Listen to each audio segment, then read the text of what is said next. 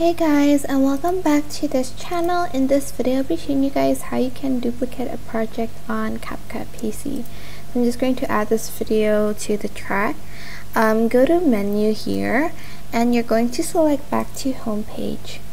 Then you are going to like right click on the project you want to duplicate or select these three dot like three dots sorry and just press duplicate and it's going to copy the project for you and as you can see there is the word copy next to it. That means the video is a duplicate of your um, original video and that is how you can duplicate a project on CapCut PC super simple but I hope this tutorial was helpful for you guys.